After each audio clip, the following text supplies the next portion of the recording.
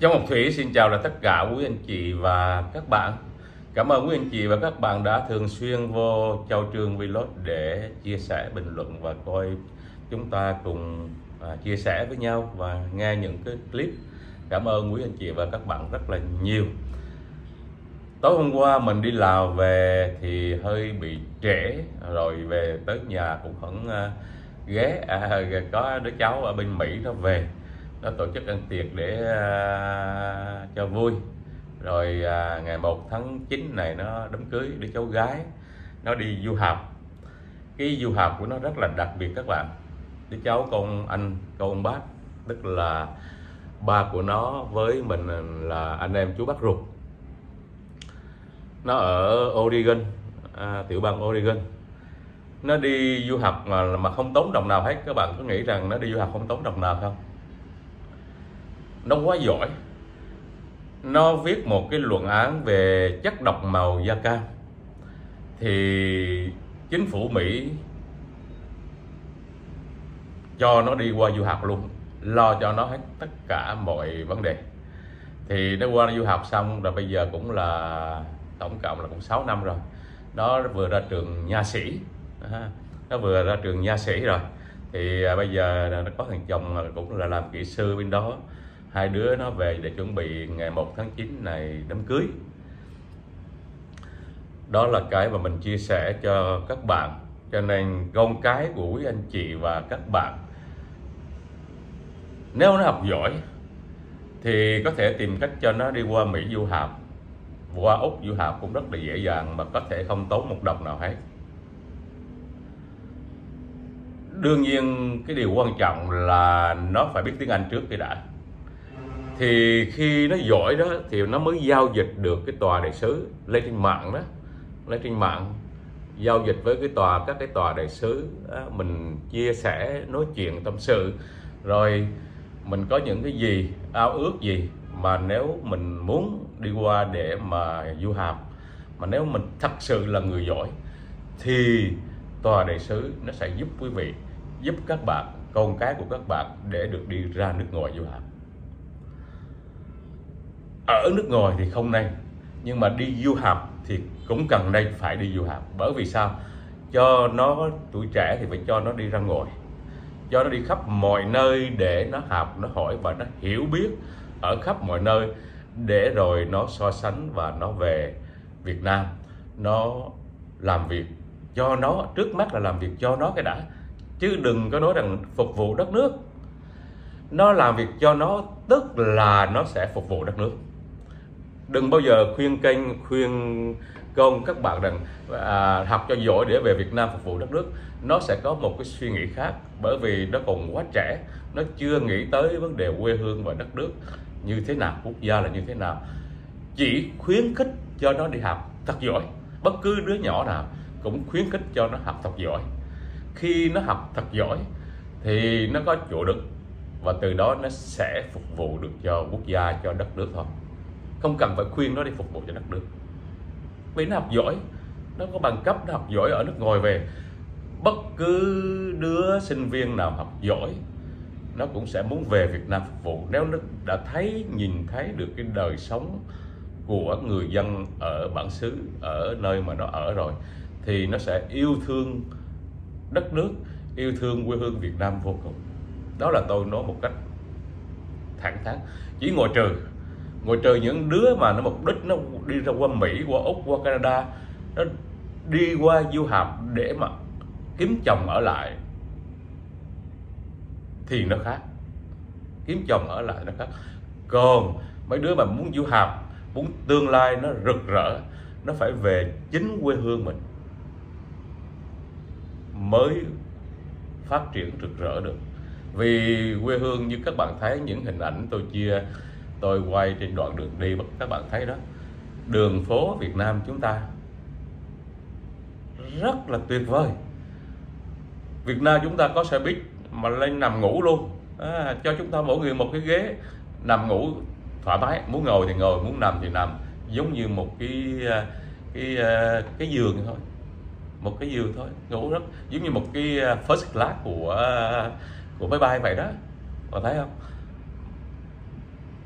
Và chiếc xe nó cũng không cao lắm, cũng giống như mọi chiếc xe bình thường, nhưng mà nó chia làm hai tầng để cho mọi người nằm và ngồi. Vì xe buýt, họ đi đường dài nhiều khi đi năm 10 tiếng 15 20 tiếng. Đi Hà Nội, đi Sài Gòn, vẫn đi xe buýt giường nằm được, đi Đà Lạt vẫn đi xe buýt giường nằm được. Nhưng mà có cái, thời gian nó dài hơn một tí thôi. Mà nó, có một cái mà cũng phải nói là vì như xe buýt ở Mỹ, xe Greyhound ở Mỹ, chúng ta đi thì chúng ta trên xe nó có cái phòng vệ sinh. Nhưng mà tiếc cái là các cái à, những cái hãng xe bus ở nó chế cho cái loại này, nó không có một cái phòng vệ sinh cho mọi người. Mặc quý vị thử nghĩ, một cái xe chở gần bốn năm mươi người trên xe, thì dĩ nhiên phải có người này bị muốn đi vệ sinh, người kia muốn đi vệ sinh, chứ đâu phải là là ai cũng không muốn đi vệ sinh đâu. Mà tài xế chạy khi ba, hai, ba tiếng mới ngừng một lần. Thì cũng được, đồng ý là cũng được. Nhưng mà rất tiếc là, rất tiếc thôi. Những cái công ty mà nó chế ra chiếc xe buýt đó, nó chế một cách tuyệt vời như vậy mà nó không là chế thêm cái phòng vệ sinh. Hay là nó dùng cái phòng vệ sinh để có thêm cái chỗ để cho người ta ngồi. Bởi vì ở phía sau thì nó chứa ở trên được 5 người ở dưới được 5 người nữa. Nhưng nếu nó làm cái phòng vệ sinh thì nó sẽ mất 10 người đó. Mà 10 người đó các bạn cứ nghĩ là mỗi người 170 ngàn 10 người là 1 triệu 7 thì sau đây vì vậy à, được cái thì mất một cái. Nhưng mà có cái rằng rằng là anh tài xế ví dụ quý vị muốn đi vệ sinh thì không biết tôi chưa gặp trường hợp đó. Nhưng mà hai ba tiếng đồng hồ tức là từ Đà Nẵng qua bên Lào thì anh ngừng có một à, một lần thôi để cho mọi người ăn sáng rồi đi vệ sinh rồi chạy đi qua Lào luôn. Tổng cộng đoạn đường từ Đà Nẵng đến Lào là 6 tiếng đồng hồ. 6 tiếng thì tính ra chừng khoảng uh, chưa tới 400 cây số. Khoảng chừng 210 mai. À, đó là như vậy thôi. Nhưng mà đi 6 tiếng đồng hồ bởi vì cái xa lộ nó chặt hẹp, nó chưa được rộng. Nó lẫn lộn giữa xe lớn và xe nhỏ. Vì vậy mà không thể nào chạy nhanh được. Chỉ chào chạy hình như là 7 7 6 70 cây số một giờ trở lại thôi. Nhưng tuy vậy thì cũng an toàn cho mọi người. Chậm một tí nhưng mà nó đến là được rồi. Và tôi vô cửa khẩu thì trước tiên là vô là trả cho cái thằng à, à, à, trình giấy tờ cho cái à, bên à, công an hải quan của lào. Rồi sau rồi nó mới cho mình vô trong lào. Rồi dẫn nó đưa mình qua cái một cái văn phòng của bên cũng hải quan lào. Nó mới làm cho mình một cái visa. À, làm cho mình một cái visa của lào nha quý vị. Thì trả cho nó là một triệu tư. Một triệu tư là khoảng chừng 50 đô la năm à, năm năm mươi năm mốt năm hai đô la xong rồi nó cho mình cái cấp cho mình một cái visa. Rồi mình đi qua lại bên Việt Nam. À, bên à, bên cửa khẩu Việt Nam để vô lại Việt Nam đó. Thì mình cũng ra mình trình. Trình xong rồi mình đi vô bên chỗ à, một cái văn phòng của à, chỗ hải quan mà bên ờ, công an biên phòng họ làm việc đó thì mình cũng đưa cái passport cho họ. Trình passport cho họ xong rồi họ coi mọi giấy tờ này nọ rồi họ cũng đóng công giáo cho mình trả cái 50 50 ngàn. À, Việt Nam thì trả 50 ngàn thôi là để mình tiền làm việc đó chứ không phải visa. Bởi vì visa Việt Nam tới 5 năm còn Lào mỗi lần đi qua là phải trả visa mỗi lần đi vô Lào là phải trả tiền visa vô thì từ cái cửa khẩu mà của Lào đó là thành phố Lao Bảo Quảng Trị đó các bạn. Đi vô trong từ cái cửa khẩu mà tôi chưa vô nhưng mà tôi nghe nói rằng phải, phải lấy xe hai ba tiếng đồng hồ nữa thì nó mới vô những cái ờ, có nơi thành phố có dân chúng ở. Nó thua Việt Nam cái chỗ là là Việt Nam chỉ trừ cách cái khung viên của cái à, cái quảng trường tức là giống như quảng trường cái nơi mà người ta dùng để đổ đậu xe rồi đó thì là một cái thành phố lao bảo.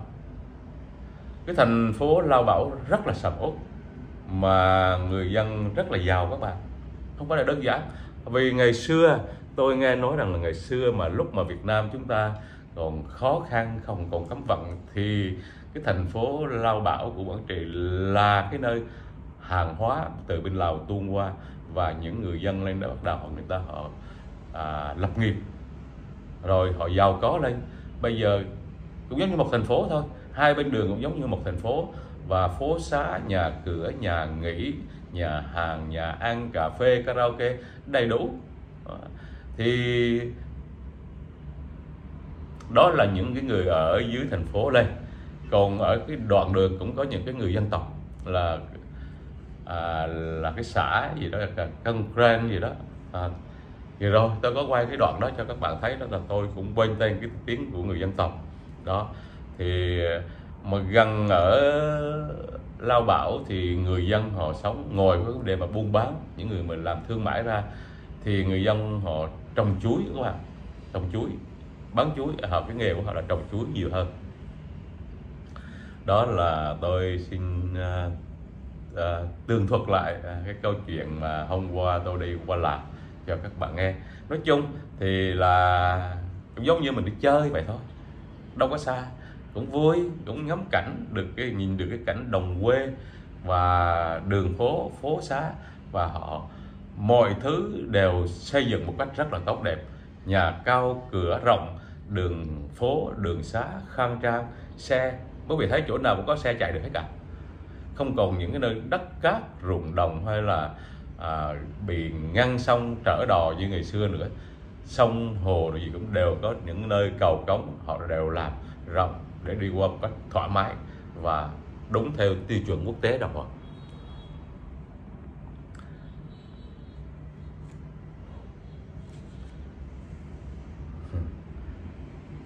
có những người chưa một lần về Việt Nam cũng chỉ vì chống cộng sản. Có người mà không có tổ quốc, không quê hương, thật tội nghiệp. Đúng không anh Thủy tại ai cũng có quê hương, ai cũng có tổ quốc cả bạn. Thật tội nghiệp là tội nghiệp cho những cái anh mà dân chủ cùi. Dân chủ cùi là vì sao? Vì khi mà anh chống lại nhà nước, anh bị bắt vô tù rồi nhà nước cho anh đi. À, cho anh đi ra nước ngoài. Thì không biết có về lại được hay không. Nếu anh các bạn biết rằng là nhà nước Việt Nam luôn luôn khoan hồng. Nhiều người tù tội này nọ nhưng mà vẫn được khoan hồng. Nếu anh biết hối lỗi anh biết nhìn nhận cái sai của mình thì biết kiểm điểm thì nhà nước sẽ khoan hồng.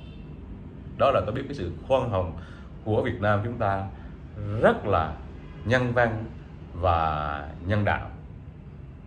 Không phải anh đi ra nước ngoài, như ngày xưa chúng tôi đi vượt biển, có bao giờ tôi, mọi người ở bên Mỹ mới qua mấy năm đầu buồn rầu lắm. Cứ ngồi than thở, rất là tôi còn trẻ đó nha các bạn, còn trẻ, còn đi chơi còn đây đó được, nhưng mà mấy đứa bạn với nhau ngồi lại, cứ than, cứ thở, mình không biết bao giờ mình sẽ về lại Việt Nam đây. À, đó là giới trẻ đó. Giới trẻ cũng buồn chứ đâu phải giới trẻ mà được vui đâu các bạn. Mà ở Việt Nam á, mình sống với gia đình ở trong gia đình nó quen rồi ở trong làng trong xóm nó quen rồi. Bỗng dưng một phút chốc qua bên Mỹ ngồi ở đó. Đó là cái mà cái mà ngày xưa. Rồi nhà nước cũng cho mọi người về không cho mọi người về thôi. Thì những cái anh mà chống cộng dân chủ cùi này nếu mà thức tỉnh ra ngỡ ngàng ra rằng là mình đã lỡ tin lầm cái băng đảng lừa gạt. Cho nên bị như vậy thì nhà nước tôi nghĩ sẵn sàng khoan hồng cho các anh các chị các bạn về. Tuy nhiên cái vấn đề mà nghề nghiệp luật sư giáo sư ngày xưa anh đó thì có gì bỏ luôn. À, vứt đi và tuổi trẻ bây giờ nó không như tuổi trẻ ngày xưa của chúng tôi. Là vì bây giờ nhiều đứa đi du học, rồi nó được tiếp xúc với bên ngoài, rồi cái đời sống văn minh bây giờ nó nó không còn cái làng xóm như ngày xưa nữa, thì nó đi đâu, nó cũng nghĩ rằng giống như ở Việt Nam thôi, vẫn thấy đó như ở Việt Nam thôi. Và tôi cũng kể lại một bạn, cho các bạn nghe một người nữa, đó là thằng em cũng có ông chú ông chú tức là ba của nó đó. Với ba của tôi là anh em cô cậu bà nội tôi thứ hai. Còn ông ông nội của nó đó là thứ ba. Nó cũng đi qua du học bên Mỹ đâu được à, uh, 2 năm rồi. Nó cũng bỏ nó về. Nó không muốn ở bên Mỹ. Nó về rồi nó cưới vợ nó ở lại Việt Nam luôn. Thì ba nó mua cho nó một căn nhà tại vì à, ba nó có một cái nhà nghỉ mà. Và nó thấy rằng đó là tuổi trẻ các bạn đi học xong mấy năm nó bỏ đi về không bỏ học luôn đi chơi. Nó học xong à, lỡ dở cái nó đi chơi một vòng đi hết nước Mỹ. Nó đi một vòng đi xe hết nước Mỹ xong cái nó về Việt Nam nó lấy vợ và nó ở lại Việt Nam nó làm ăn luôn. Nó có ba nó có tiền có bạc để cho nó làm ăn. Nó thích ở Việt Nam hơn. Tôi ghé thăm nói chuyện với nó. Nó nói em không thích ở bên Mỹ. Không thích không thích chút nào hết. Đó là nó trẻ năm nay nó chừng 23 4 tuổi đó bạn. Cho nên, cái nhìn, bất cứ một chuyện gì, mỗi người có mỗi cái nhìn khác nhau. Không có ai nhìn giống nhau cả. Cho nên, chúng ta đừng nghĩ rằng mình thích là người khác thích, mình ghét là người khác ghét. Tuy nhiên, không nên tuyên truyền, không nên xuyên tạc, để cho mỗi người họ tự tìm hiểu lấy họ hiểu biết, họ tìm, họ mới hiểu được. Còn các bạn xuyên tạc, gieo trong đầu người ta một cái, coi như là nửa có nửa không? Để rồi các bạn lừa gạt, lợi dụng đó lừa gạt. Cái chuyện đó là chuyện không một ai chấp nhận được cả. Dù tôi không bị lừa gạt, nhưng mà tôi cũng không chấp nhận được những cái chuyện đó.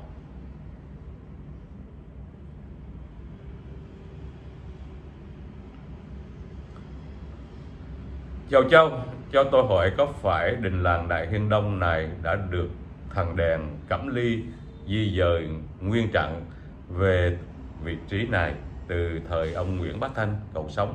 Không chào không chào cảm ơn. Thì à, thưa bạn tôi không có rành về cái đình làng này. À, cái đình à, làng mà sau khi tu bổ này. Nhưng mà tôi sống với cái đình làng này từ nhỏ lớn lên từ nhỏ và ba tôi cũng đã có nhiều lần làm hồi cùng đương thời hồi cùng mà chưa mất chưa đi qua Canada thì ông cũng là làm thủ quỹ của cái đình làng này.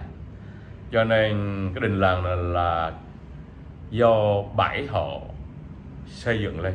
Thì trong đó có họ Trương, họ Trần, họ Huỳnh, họ Lê, họ Nguyễn như tới hai họ nguyện gì đó là phải. Tức là bảy bảy gia tộc để uh, tạo dựng lên một cái đình làng này. Và tới bây giờ là 500 năm. 500 năm. 500 năm đó các bạn. Và cái đình làng này đã trở thành một cái di tích lịch sử của Việt Nam luôn của đất nước Việt Nam. Và được sự hỗ trợ của chính quyền địa phương. À, về vấn đề tu bổ và vấn đề trồng cây hoặc là vấn đề hỗ trợ cho tiền chi phí điện à, chi phí mọi thứ hàng tháng của đình làng. À, và những buổi cúng lễ đình thì à, các giới chức cán bộ địa phương của phường Hiên Đông họ cũng đến tham dự và cũng đến ăn uống với mọi người mà những người đó là ai? Là cũng con cháu trong làng hết chứ chẳng ai cả. Đó đó là cái mà chúng ta cũng nên à, nên nên khuyến khích và cũng nên khen tặng một cái. Còn cái lúc bà tu bổ thì tôi không biết. Tôi không uh, có rành về vấn đề những cái chuyện bên trong như bạn đã nói bà hỏi vì vậy tôi không thể trả lời cho bạn được. Tôi trả lời những cái mà tôi biết. Các bạn có biết rằng là ngày xưa lúc mà thời bao cấp chưa đi vượt biển đó là cứ mong cho tới cúng đình cúng làng này à, để mà lên được ăn miếng thịt heo miếng thịt bò. Đó. Nó thiếu thốn đến cái độ như vậy. Thấy một miếng thịt heo miếng thịt bò rất là thèm thèm vô cùng. Mà cái thời điểm đó con người mọi người ai cũng bị thiếu chất thiếu chất mỡ thiếu chất đường cho nên thấy ngọt cũng thèm, thấy mỡ cũng thèm. Vì các bạn thử nghĩ bị cấm vận, bị chiến tranh làm mà trong khi đó đất nước chúng ta không sản xuất được cái gì hết cả. Vì trong thời gian chỉ lo đánh nhau thôi, không sản xuất được cái gì hết, thì làm sao không thiếu được. Chỉ có cái gì ăn cái đó thôi. Mà lúc đó chúng ta chưa học hỏi được cái vấn đề công nghệ, công nghiệp trồng trọt và nuôi nấng. Cho nên chúng ta trồng một cách coi như là bình thường dân dã của từ đời này qua đời nọ. Vì vậy mà không đủ để chu cấp cho cái nhu cầu của người dân. Vì vậy mà nó thiếu thốn thôi. Chứ còn bây giờ cả con hào, con cá, con tôm, con chim, con cháp cũng đều nuôi cả. Cũng đều nuôi và cung cấp đầy đủ cho mọi người. Nhưng ngày hôm qua các bạn thấy là tôi đi qua đèo Hải Vân là tới Lăng Cô. Lăng Cô ở là thuộc về Huế là cái nơi nuôi tôm nuôi cá nuôi cua nuôi ghẹ nuôi hào cung cấp cho Đà Nẵng. Các bạn có biết vậy không? Đó họ sống những người nuôi sản phẩm à, hải sản như vậy họ lại giàu có. Họ lại giàu có. Và những người trồng trọt nữa trong trọt đó họ bỗng dưng những nhà nông ngày xưa rất là nghèo phải gánh đôi gào ra nước tưới khổ cực à, lấy phải cúi đầu cầm cùi cắm trồng lúa trồng rau thì cài người thì kéo. Rất là khổ cực vô cùng. Nhưng mà bây giờ cái chuyện đó không còn nữa. Người ta trồng trọt theo vấn đề công nghiệp hết cả cả cây trái trồng trọt theo vấn đề phải có công nghiệp vô trong đó thì mới chu cấp đầy đủ cho cả nước. Thì bây giờ không phải Việt Nam Việt Nam ta chúng ta là đi chậm lắm rồi đó. Cả thế giới họ đã đi từ hàng chục năm trước rồi. Có thể cả trăm năm trước rồi. Chúng ta còn đi chậm. Mà người Việt chúng ta cái chê là đồ công nghiệp đồ nuôi. À, đồ nuôi dở hơn đồ bắt ngồi biển. Thì đồng ý là như vậy. Đồng ý thì đồ bắt ngồi biển thì nó phải mắc tiền hơn và nó sẽ ngon hơn vì từ nó đi tìm đồ ăn của chính nó. Và nó hoạt động thì nó phải ngon hơn là mình nuôi, mình cho cái thức ăn của mình thì nó dĩ nhiên nó không ngon hơn. Nhưng mà đó, đây là mình có so sánh. Còn ở Mỹ bạn không có so sánh. Từ nhỏ lớn lên nó đã ăn những cái công nghiệp rồi, mọi thứ đều công nghiệp rồi. Nó không có những cái tự nhiên để nó so sánh. Mà những cái tự nhiên thì nó không chịu ăn, nó sợ. Chẳng hạn như cây trái, hoa quả trồng trong nhà, nó không có ăn. Nó ra ngoài chợ nó mua đồ nó ăn mua đồ ngoài chợ về nó ăn.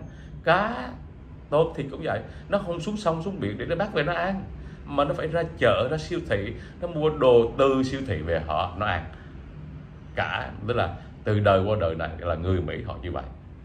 Họ trồng cây cối trong nhà để cho chơi vui.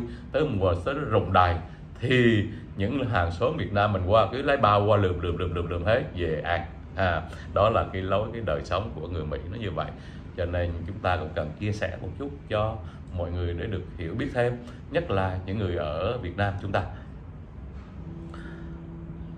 Tất nhiên công an cũng đã nắm rõ, nhưng tụi nó chưa dám làm gì mà chỉ chống phá anh.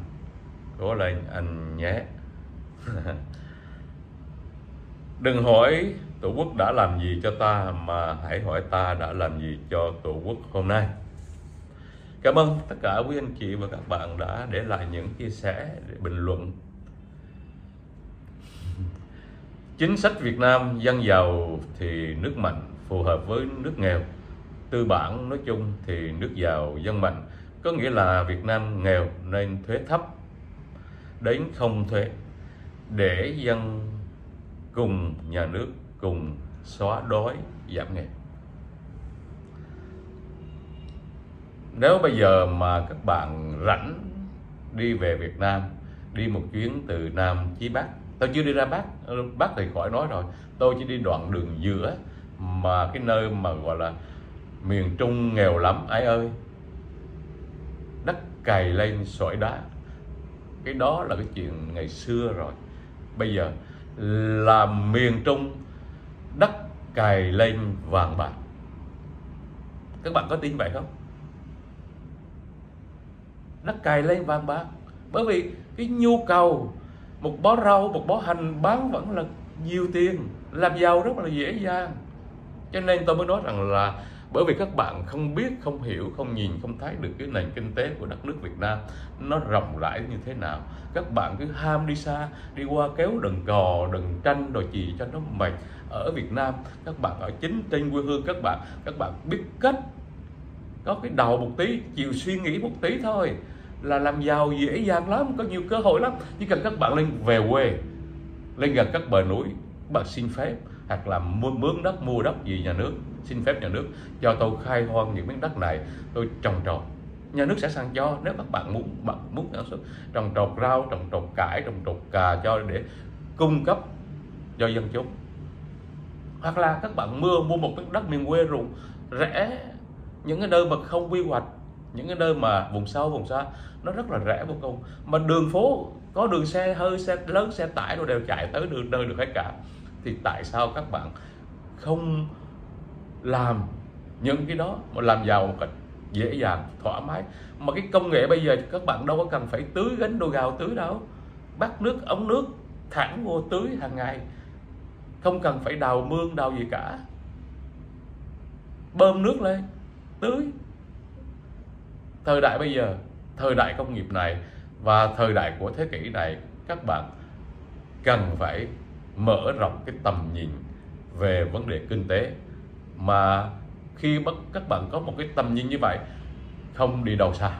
Tại đất nước Việt Nam này, các bạn làm giàu một cách dễ hơn là phải đi qua đi bấm thẻ, rồi đi qua đi phải nịnh nịnh nịnh những khách hàng khi tới họ làm những dũa bằng tay dũa cái chân để được một vài ba đồng tiền thiết nếu bạn không nịnh nó, bạn không dìu nó, thì nó bỏ nó đi chỗ khác. Bạn thấy nó đau khổ không? Đó là những người làm neo. Ghét nó lắm, mà cũng phải nịnh nó, cũng phải dịu cũng phải là dịu dàng với nó để cuối cùng thêm được vài đồng tiền thiết nữa. Đó là đời sống đa số của người Việt làm neo ở Mỹ thì tại sao các bạn phải đi qua bên đó làm neo ở tại Việt Nam các bạn cũng làm neo được. Mà muốn giàu thì Việt Nam tôi đã nói, Việt Nam là cơ hội làm giàu cho tất cả mọi người. Không cần phải có tiền các bạn. Như tôi nói đó, bạn không có vốn thì bạn đi kiếm miếng đất nào, đi thuê miếng đất nào, đi lên khai phá, khai hoang. Rồi từ từ sẽ tạo dựng lên một sự nghiệp. Mà một sự nghiệp, tôi nghĩ rằng những người ở thành phố chưa chắc đã bằng các bạn. Nuôi heo nuôi bò, nuôi dê, nuôi gà, nuôi vịt, trồng rau, trồng cải. Nhu cầu quá cần và không đủ để cung cấp. Cho nên các bạn thấy bây giờ người dân, nông dân này là bây giờ ở Việt Nam là đa số là thành triệu phú rồi, không như ngày xưa nữa. Triệu phú đô la đó các bạn, chứ đừng có nói là triệu phú tiền Việt Nam. Triệu phú đô la. Mỗi người có hai ba k hai ba lô đất là triệu phú đô la rồi.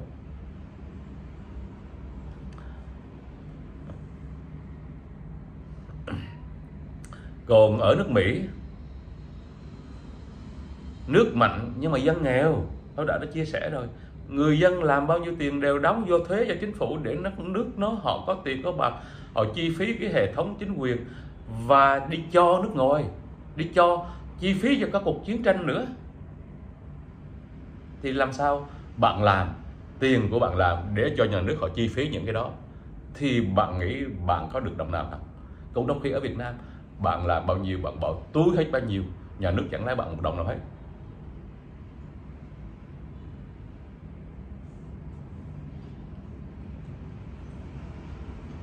Luôn ủng hộ anh. Xin hộ anh Châu Ngọc Thủy là nước Mỹ muốn vẽ lá cờ trên mái nhà phải xin phép chòm xóm. Còn may quần lót cho phụ nữ bằng lá cờ Mỹ không cần xin phép hả anh? Bạn biết ở Mỹ là tự do ngôn luận. Bạn muốn làm gì đó là quyền của bạn. Miễn bạn đừng phạm tới luật và đừng phạm tới hiến pháp. Thì trong hiến pháp nó có cái tự do ngôn luận.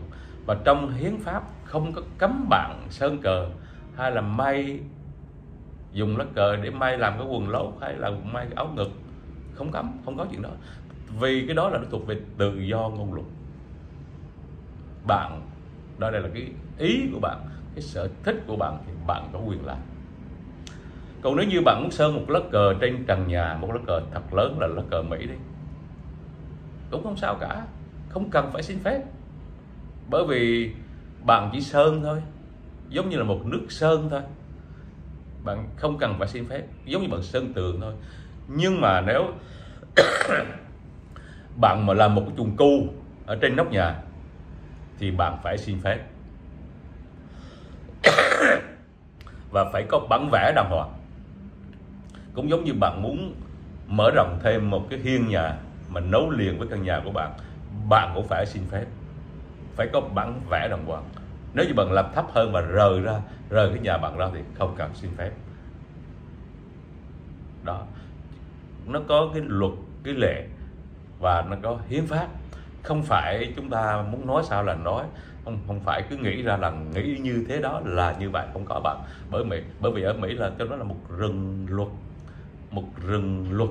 Nhưng mà học luật sư, học luật ở mỹ là dễ vô cùng. Không có, chỉ cần bạn nhớ, bạn có cái trí nhớ là bạn học luật được. Muốn đồng trí nhớ thôi. Vì nó không có toán học toán học, hóa học học vật lý nhiều. Chỉ học về cái luật pháp nó đòi bạn phải có trí nhớ nếu bạn không trí nhớ thì sách của luật nó cả một cái thư viện luật như vậy mà bạn phải nhớ. Nó nằm ở luật nào luật nào luật nào cái khoản nào nữa thì khi ra tòa bạn mới kiện mới mới tranh cãi với luật sư bên kia hoặc là công tố viên. Đó. mà luật sư họ phải vô thư viện họ tìm tôi họ đọc thường xuyên. Vì chẳng hạn như ngày mai à, trong tháng tới họ có một cái vụ kiện về à, vụ kiện về đánh nhau đi chẳng hạn như à, mà có những cái chuyện họ muốn thắng là phải tìm tòi những cái vụ kiện trước đây những cái vụ kiện mà có cái sơ hở nào đó để họ lâu ra họ đọc họ tìm hiểu lại để họ bảo vệ cho thân chủ của họ là như vậy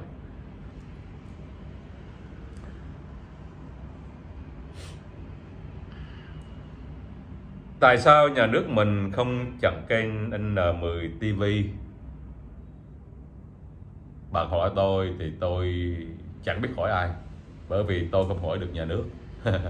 Thì chặn hay không là do quyền của à, Bộ Thông tin Văn hóa của Việt Nam. Họ quyết định họ có chặn hay không.